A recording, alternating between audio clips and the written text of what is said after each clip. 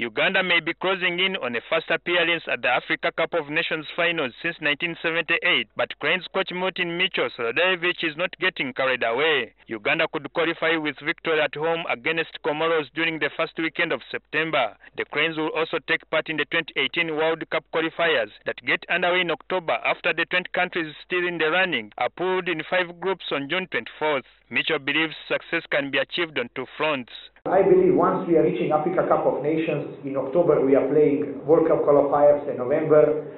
We could uh, really open new chapter and, and, and uh, uh, take Uganda football to another level that could change football forever, and we could become something what we really want to. FUFA President Moses Magogo says the Cranes are not under duress to qualify for any of the two tournaments.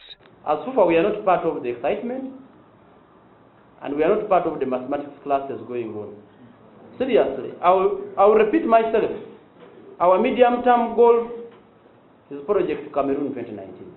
Uganda's greatest battle could yet come off the pitch. National Council of Sports have given FUFA and other non-compliant federations up to the end of this month to fulfill new regulations or else face the wrong arm of the law. FUFA says it won't comply. There were four issues that we raised and we expect National Council to respond.